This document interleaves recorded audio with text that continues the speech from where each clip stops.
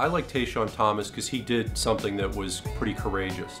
Instead of you know staying his senior year in, in a comfort zone, average 20 points again, and you know be the big man on campus, he said, "I need a high-level basketball competition," and he went to Oklahoma. Now at Oklahoma, he only played one season there.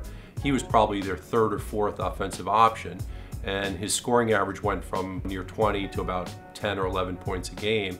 Buddy Hield, uh, who was a great player at that school, is going to be in the draft next year, and Isaiah Cousins, another probable future NBA player, were on the team already, and he had to sort of find a role for himself. But he went there and he contributed, and they made the NCAA tournament and went a couple rounds. I picked Houston because, you know, I played with the Houston Hoops, and I was kind of familiar with the city, and it wasn't that far from home. And I'm a big family guy, so just being able to go home and see my family within a three hour drive and then them coming to watch me play was just, it was just helpful. So that was the main reason why I went to Houston. When I decided to transfer, I didn't know whether I was gonna stay. I knew I wasn't gonna be able to stay in Texas, but I knew then that all the schools that I was gonna have to go to was further than you know we would like. You know, when I decided to transfer, it was hard. You know, the fans of Houston still hate me to this day, but most of my teammates, you know, they understood. They were like, you know, you gotta do what's best for you. I felt like if I would have stayed at Houston and kept getting individual accolades, I wouldn't have been happy. So, you know, that was that played a big part into me transferring.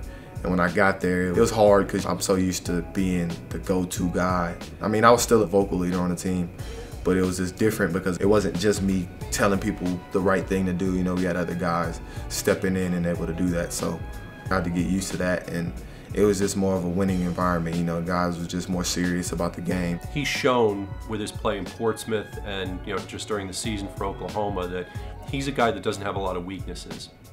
He rebounds the ball strongly. Even though he's not that tall, he's about six seven. he has a great jump hook with either hand. He's got little, you know, fallaways on the baseline where he can get guys leaning the wrong way and then shoot a fallaway. Defensively, he blocks a lot more shots than you would think of a guy six seven. We think about shot blockers being, you know, 6'11", seven footers, and he doesn't get faked off his feet. He doesn't get faked out of position very often.